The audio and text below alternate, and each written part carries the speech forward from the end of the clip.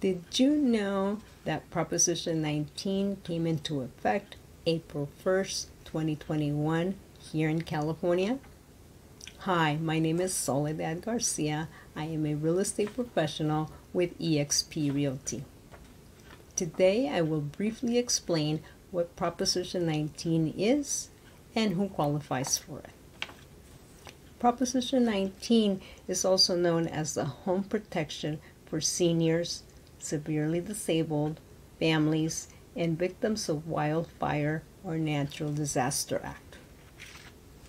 This law allows homeowners to transfer their property tax base of their current primary residence to the purchase of another primary residence anywhere in California,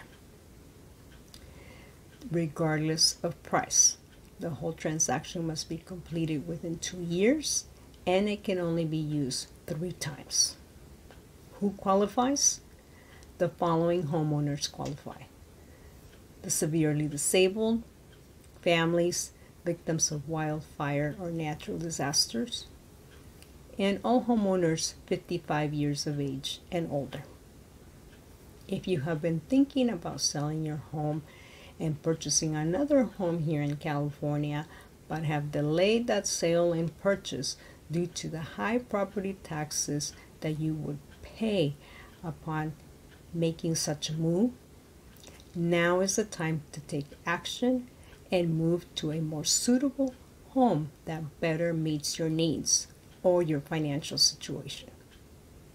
If you want to know more about your options, let's set up an appointment and I will answer all your real estate questions and bring more clarity and focus to your real estate goals. Stay tuned for more real estate tips.